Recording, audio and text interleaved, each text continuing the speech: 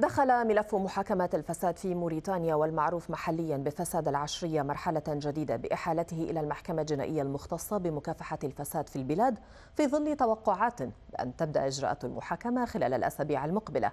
ويطال ملف الفساد الرئيس السابق محمد ولد عبد العزيز بالإضافة إلى عدد من المسؤولين في فترة حكمه.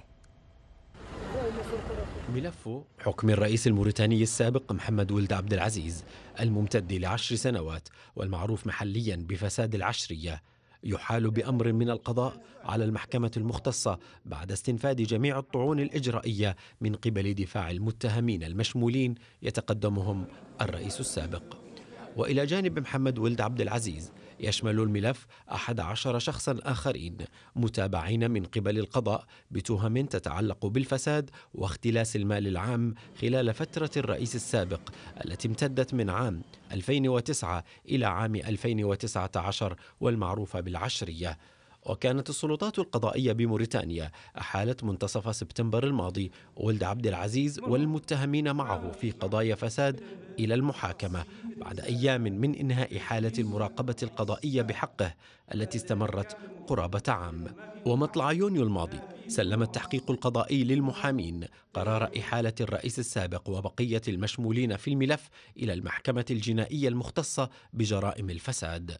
ووجهت النيابة العامة في مارس من العام الماضي تهما تتعلق بالفساد إلى 13 متهما من بينهم اثنان من رؤساء الحكومات وعدد من الوزراء ومديري المؤسسات الكبرى ورجال أعمال إضافة لرئيس الجمهورية السابق فيما تم تبرئة اثنين منهم بعد ذلك. ووصل ولد عبد العزيز للسلطة لأول مرة عبر انقلاب عسكري عام 2008 ما أدى لدخول البلاد في أزمة سياسية.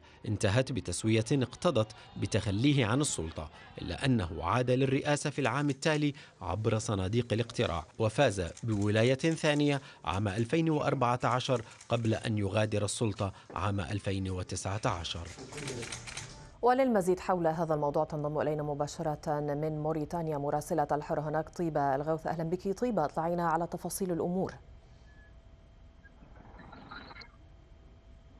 أهلا إليك. طبعا هذه الخطوة أو الحديث عن احاله أو برمجه ملفات الفساد في لدى محكمة الفساد هي خطوة كانت متوقعة منذ أيام منذ أن أعلنت أعلى هيئة قضائية بإثبات ما أحالته إليها النيابة بالتهم الموجهة للرئيس السابق وعشرة من معاونيه بعد تبرئة اثنين من المشمولين كانوا في الملف. هي الخطوة الآن ربما أو يتحدث البعض بأنها قد تكون لها أبعاد سياسية نظرا لتحركات الرئيس السابق محمد بن عبد العزيز السياسية والتي يحاول من خلالها وحتى يحاول دفاعه أكثر من مرة أن تكون أن يحول الملف من قضائي إلى ملف سياسي نظرا لدعوة أو مطالب الرئيس بعودته إلى المشهد.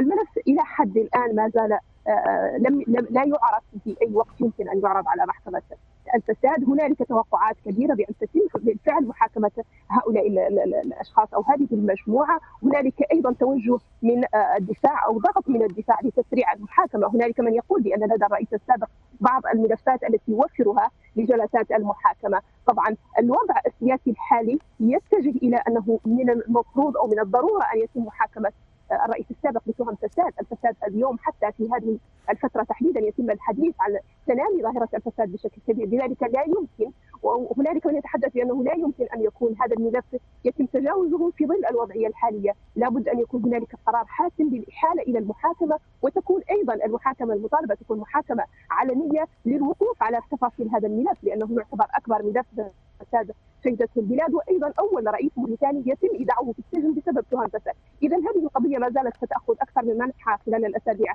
المقبلة القليله نظرا لتسريعها أو تسريع وتيرتها في ظل المطالبة والضغط السياسي قبيل الانتخابات، هنالك من يتوقع أن تكون المحاكمات جدا قوية وهنالك من يتوقع أن يتم تمديدها إلى مرحلة أخرى إلى حين أن يتم معرفة أي الملفات أهم هل هي الانتخابات والتي تفصل عنها أربعة أشهر أو خمسه أم هي هذا الملف الذي يعتبر ورقة النظام الحالي لفرض التهدئة التي راهن عليها خلال السنوات الثلاثة الماضية.